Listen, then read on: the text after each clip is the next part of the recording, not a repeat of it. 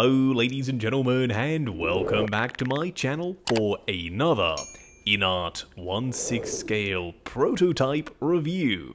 Now before we begin I do have to say a massive thank you to two companies. The first being toyswonderland.com for helping me fly out here and make these videos. And the second is InArt for reaching out to me personally and asking me, Justin, do you want to check out our prototypes and do some reviews? To which of course I said, hell yes I do, and here we are. Now we'll be taking a look at none other than Gandalf. Now I'm not the biggest Lord of the Rings fan, you all know this, but in preparation for making this video, I actually watched the first film, so I've got a little bit more Lord of the Rings knowledge than I did before. What we are going to do now though is get all of his accessories laid out in the lightbox, take a closer look at everything he comes with. Starting off with the display base first, it looks like it's carved out of a hunk of stone, but it isn't, it's just sculpted to look that way. I like the texture. Up front it says Gandalf with some yellow inlay, and if you're wondering how does he attach to the display base, there's no crotch grabber. Yeah, there are magnets inside the display base and in Gandalf's feet, so not only is he secure on the base, there's no ugly crotch grabber. He does also come with his hat, it's this felt style fabric. It looks way better than the Asmus one, it's no longer this big poofy thing. And yes, we will pop this on his head a little bit later. These two accessories were kind of destined to be together. We've got an envelope with an imprint of the ring and a seal. It's quite filthy. Now you can open up the envelope and pop the ring inside. The ring is real metal and even though it's absolutely microscopic, there's still the inscription sculpted in. It's worth noting that he does come with the book, but this is the prototype. Unfortunately, the book didn't make the journey out here, but with the final one, you will get the book.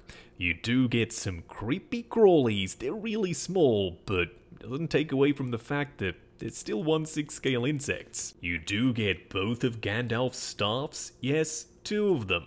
Initially, people were freaking out, saying, oh no, we're not going to get the second staff. Yes, you will, don't worry. This one does have the gem up top, they both look suitably organic, like they've been carved out of wood, but they're not, they're sculpted. I also like the paint with the washers in the crevices, some lighter dry brushing as well. The gem will light up for the final version. As for this one, does have this little nail in the side. You can also slot the pipe in up the top if you want to. Which one would I display Gandalf with? I'm not sure. Let me know which one you prefer down below. Seeing as though I just mentioned it, yes, you do get the pipe. It will slot into that staff like I just said. You've got some lighter shading towards the end, then on the inside, some sculpted in detail Kinda looks like tobacco. Then again, I don't even know if he put tobacco in those things. I'm not a smoker, so if you know, please advise. I'm pretty sure it is, but I could be wrong. You do have a real metal sword, and it looks awesome. It's a little bit prickly, do be careful. The detail is impeccable, including the blue on the grip and the blue on the sheath. Plus, the sheath itself does have some airbrush shading, and the bottom and top really shiny. And lastly, we get a full array of hands, and I don't know how else to say this, but they look like old people hands. They're wrinkly, there's some liver and age spots. I like the vein work, they're painted beautifully. Even the nails are a little bit dirty. What we are going to do now, though, is get Gandalf himself out here. Standing straight up and down in the light box, no crazy poses, but yes, some accessories. He's wearing the hat and the brown cloak, and he's holding his staff just to complete the look, and he looks all the better for it. Yeah, I'm really happy. I'm only a mid-level Lord of the Rings fan, I've literally just started watching the movies, but this guy kinda does it for me. If I was to collect one character from the series, it would be Gandalf. Even from a distance, the head sculpt looks just like him, more on that in a second. The outfit lays well, there's a ton of fabric, so that can't have been easy. Up close and personal, kicking things off with the head sculpt first. Now do bear in mind, this entire figure isn't final, it's a work in progress.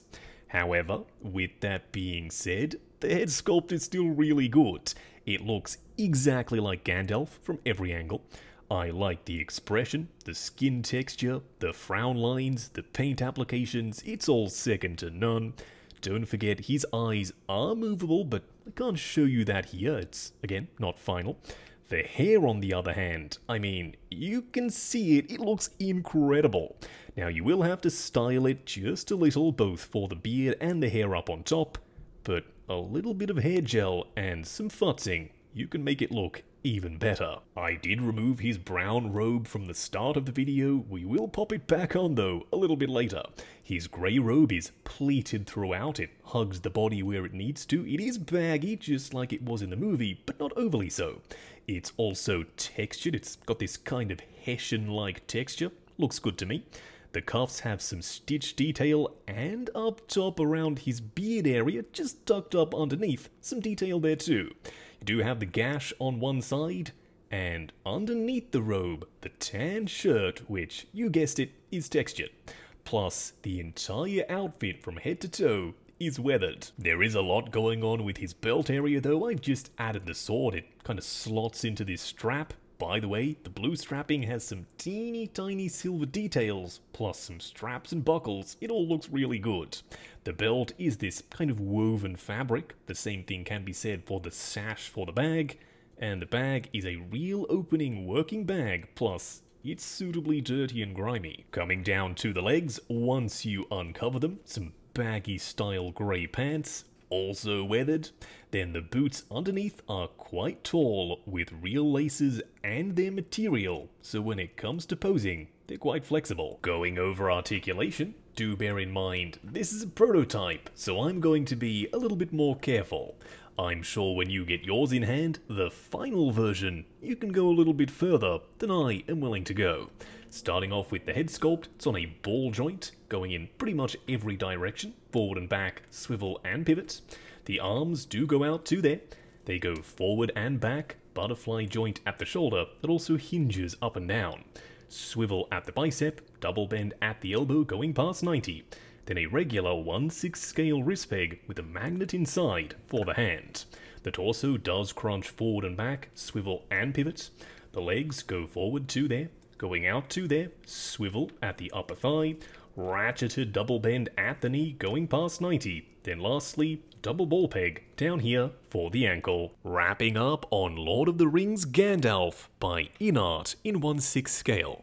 I'm not a huge Lord of the Rings fan, I've said this earlier in the review, I only literally just watched the first movie on the plane on the way here to film this video, but this guy checks all the boxes. I like the Asmus one, but Long story short, even in the prototype stage and being an early one at that, this is way better. The rooted hair is incredible. It's super fine, super thin, it looks very realistic. And that's the same word I'd use to describe the head sculpt, it looks really real. You'll be able to move the eyes with the final one, the hat actually sits on the head sculpt, not just kind of hovering above like the Asmus with the magnet. As I said, way better. The outfit comes together beautifully, there's a ton of layers, there's different textures and tattered edges, and the details overall, just fantastic. As for the accessories, even though the book wasn't here, I'm happy with the spread, but We'll leave it at that. When he does come out, I'll pick one up and do a full unboxing and review.